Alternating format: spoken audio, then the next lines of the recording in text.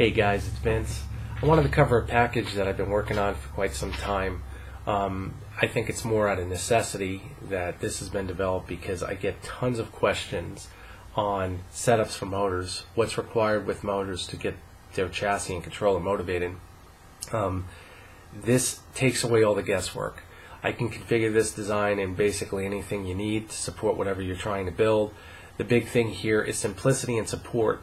Um, before I cover anything, guys, one thing that, that I need to mention, and anybody who's dealt with me will tell you, is I support what I sell. And I'm really proud of that in the sense that if you message me a question, I can usually answer it within probably six to eight hours. Um, and usually I'm pretty good with that as far as if, as long as it's on the Eastern time and you know it's not three o'clock in the morning.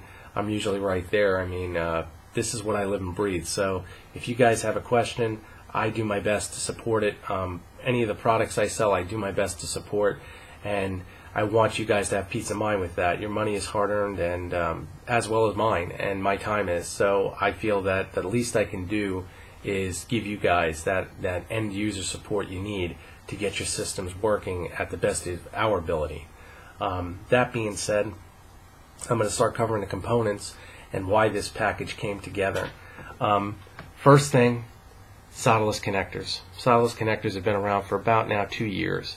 Um, they're exceptional. I mean, they really make hooking the motor cable to the motor up a really simple process. And more or less, it's just a male DB9 broken out to a six-point terminal block. You've got four leads for your motors and two leads that go to the resistors. The two white leads go to the resistor. Um, resistors are, of course, included with this package, and with any Gecko package, resistors basically let the motors reduce, get the current reduced down to 70% when the Gecko is at idle.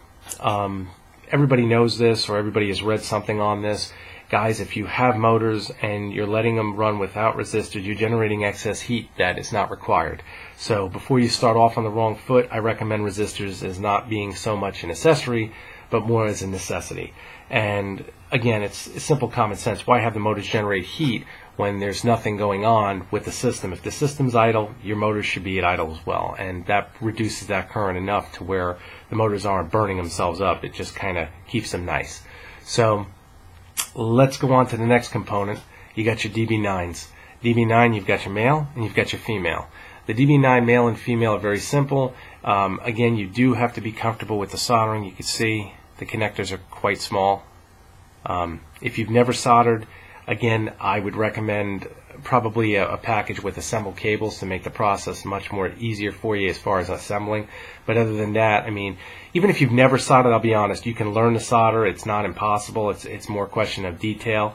If you're willing to, to learn the details and learn that skill, this package again will definitely suit your needs. So again, if you buy three axis, which three motors of course would come with three axis, you're going to get six terminals, six DB9 terminals. So basically, you're going to get uh, three male, three female. If you go four axis, you're going to get eight to support. You need two per motor because you're going to make one on each end of the cable. The male goes into the G540 and the female goes into your DB9 on your solderless connector. Um, the next component that's included is our 18.4 solderless shielded cable. Um, guys, the 18.4 I think is, or at least from what I've seen, it's the heaviest duty cable you'll find available for motor hookups. Um, again, it'll support any stepper. It's all copper leads. It's foil shielded to protect from noise. Um, you do have a copper drain, very high quality cable and super flexible. You'll never need more than that. That's overkill. Um, again, very simple. It's included. You get 10 foot per motor. So if you get three axis, you're going to get 30 feet. If you get four axis, 40 feet, and so forth. Uh, 10 feet for each motor cable, I think, is more than sufficient. Once again, I can customize it to your requirements. So if you want to go longer, we can go longer. Um, next component, DB9 hoods oops, sorry, DB9 hoods. All the DB9s are, are basically bare connectors without the hoods and the, the actual assembly for it comes with all the screws and nuts to assemble it. That's what gives you these connectors and makes them look like this. You just have to screw that together. It's not a very tough process. It's more of a tedious process. If you're comfortable with soldering, you should have no problem doing that. Um, again, resistors are covered. Um, these are all matched to the motors so that you're good to go. 3.3K, you're, you're basically set to go with these. You don't have to guess. These, each one of these, you get one that goes and connects to each white terminal on the solderless connector. You just bend this and bend that, make a U, and connect it there, and you're set to go. Um, the next, probably the most important part, is you're going to get solderless connector instructions. These instructions are written to include connecting this system to a G540 or to your own controller. Even though you don't have a G540, you can still use DB9 connectors on the controller end to make it simple to hook up, and as well as going with uh, wiring everything. Um, the big thing here is is just understanding the polarities of your cabling on your motors because, as most guys know, the terminals on, on stepper motors are just bare. So you have a choice: you can either solder or go with the solderless connectors.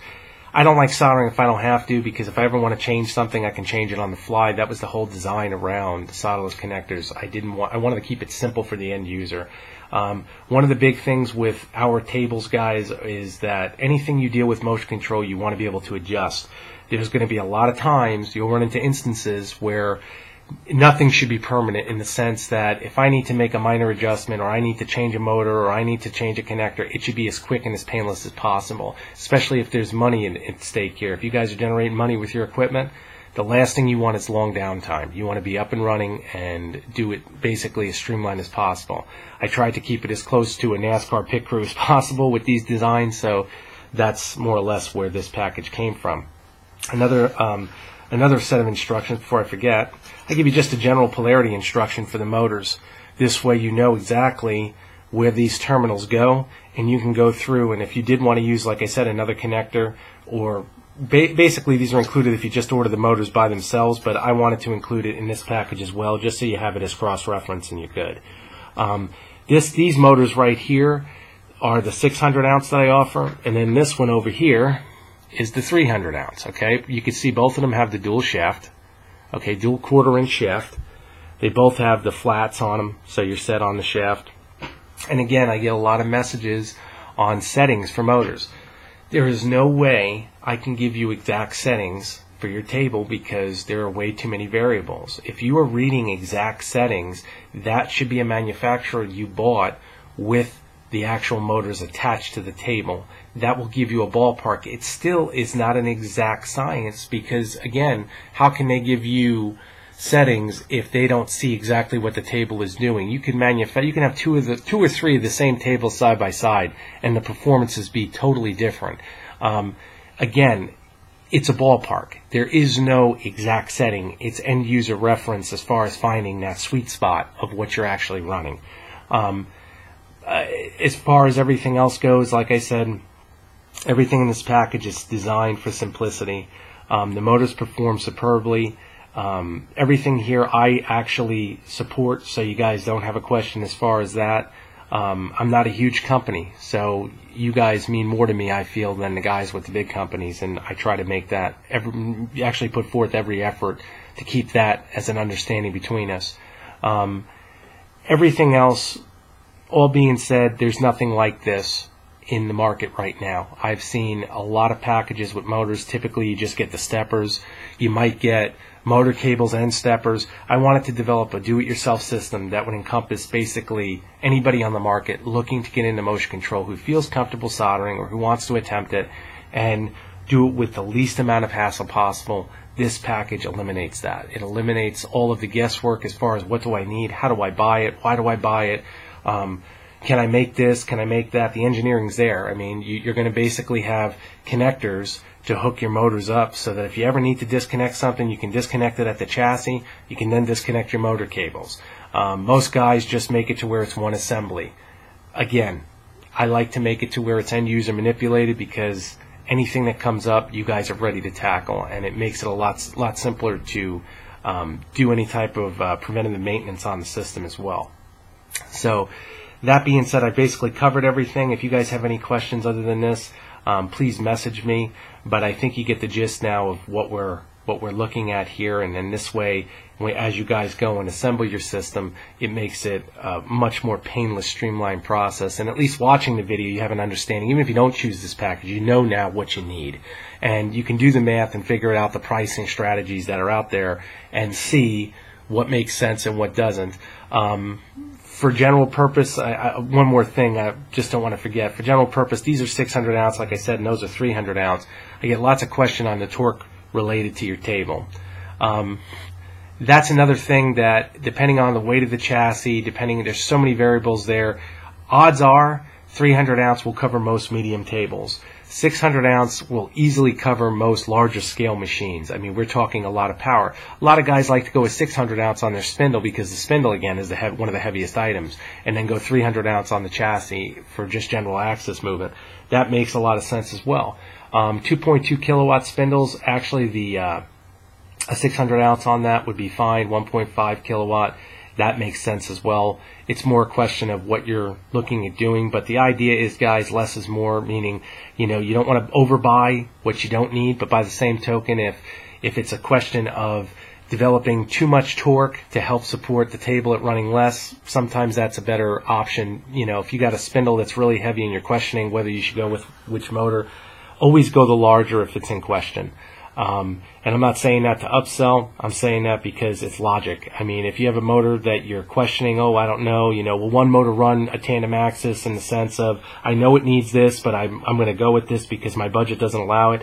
You're better off waiting, taking the time, do it right. You're not building this machine as a sense of a toy. You're building it for precision. I mean, there's no point in having this kind of equipment if you're building it in the sense that it's more, you know, I'm just going to throw something together and see movement.